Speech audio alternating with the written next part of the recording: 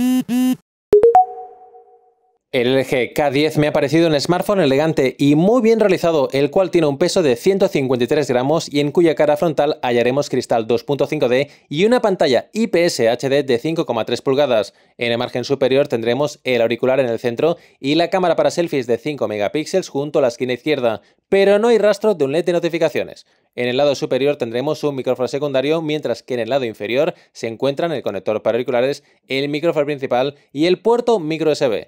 Aunque la cara posterior del K10 es de plástico, debo reconocer que me ha gustado mucho su realización, pues es todo un acierto el marcado relieve de la superficie, lo cual hará que se mantenga como nueva a lo largo del tiempo. En el margen inferior se ha ubicado la salida del altavoz, el cual trae bastante presencia de agudos y en mi opinión es más apropiado para juegos y para escuchar a radio o escuchar música a volumen bajo. Los botones para bloquear o desbloquear la pantalla y ajustar el volumen del sonido están localizados bajo la cámara de 13 megapíxeles, junto a la cual está el flash LED. El terminal cuenta con una tapa posterior extraíble, lo que permite acceder a la batería de 2300 mAh y junto a una de las esquinas insertar la tarjeta NanoSIM y la tarjeta de memoria técnicamente de hasta 32 GB.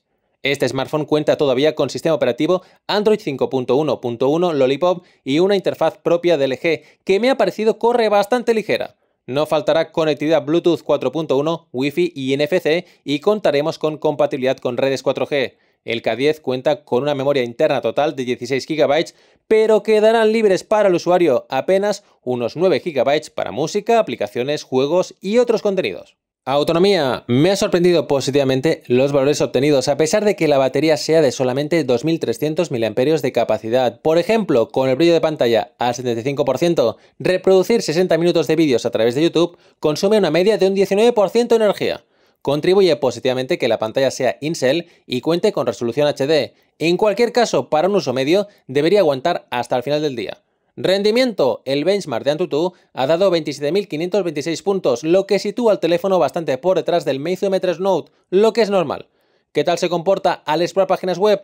Si son páginas móviles o si no hay mucho contenido pesado, como la web de PC Wall, va muy bien, aunque en páginas completas de escritorio con cierta complejidad, como la de Adidas España, no responde con la fluidez de terminales con más RAM y mejor procesador. Por otro lado, el teléfono me ha dejado plenamente satisfecho al jugar a Real Racing 3, a pesar de que únicamente contamos con 1,5 GB de RAM, procesador Qualcomm de 4 núcleos a 1,2 GHz y GPU Adreno 306. Bien por LG. Al K10 no se le da mal reproducir vídeos procedentes de fuentes de calidad, aunque el panel de la pantalla no sea el mejor pero sin duda creo que quedará satisfecho con los resultados. En cualquier caso, recordemos que la resolución máxima de la pantalla es de 1280 x 720 píxeles. Junto al teléfono se han incluido unos auriculares de plástico de tipo botón, pero sinceramente, si quieres mejorar las prestaciones al reproducir música, te recomiendo comprar un accesorio de audio de mayor calidad. Yo he usado mi Studio Bass Habla.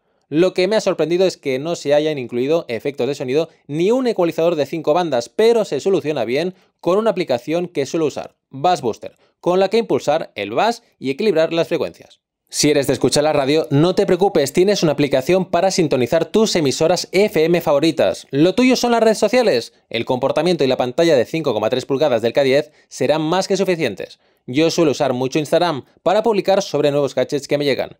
Por otro lado, si no te termina de convencer el teclado virtual del eje, el que estás viendo, siempre puedes optar al teclado de Google, que recomiendo al 100%. En la cara frontal hallaremos una cámara de 5 megapíxeles y apertura f2.4, cuya resolución en ratio de imagen 16:9 cae hasta los 3,7 megapíxeles.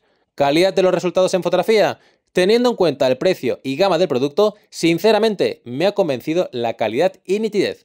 Incluso los resultados al grabar vídeo son sorprendentes, pues no me esperaba encontrar dicha calidad. La resolución máxima será de 1920 x 1080 píxeles a 30 fotogramas por segundo. Por otro lado, la cámara trasera trae un sensor de 13 megapíxeles y apertura f2.2, obteniéndose fotos a 9,7 megapíxeles al pasar a ratio de imagen 16:9. En mi opinión, la cámara enfoca bien y toma fotos con rapidez y cuenta con un modo de captura secuencial solo pulsar sobre el botón virtual en pantalla. En el margen izquierdo hallaremos los ajustes para cambiar la resolución de foto y vídeo, realizar capturas con comandos de voz, siendo whisky la mejor palabra a pronunciar, podemos activar una cuadrícula, cambiar la ubicación donde guardar los contenidos, activar el flash o cambiar a modo de captura táctil al pulsar simplemente sobre la pantalla. También se puede practicar zoom con facilidad y cambiar a la cámara frontal y viceversa trazando una línea vertical sobre la pantalla. El LG K10 debo reconocer que me ha sorprendido al revisar en mi PC las fotografías tomadas con la cámara trasera bajo unas buenas condiciones de iluminación. La verdad es que me esperaba menos teniendo en cuenta el precio del producto. Fotografías que se muestran nítidas y claras. Da la talla al grabar vídeo, se alcanza una resolución máxima Full HD a 30 fotogramas por segundo y en mi opinión los resultados superan al obtenido con el Huawei P9. Los contenidos se almacenan en archivos MP4. Sin duda, un buen trabajo el DLG. En la descripción del vídeo tienes el acceso a los álbumes de Flickr dedicados al terminal.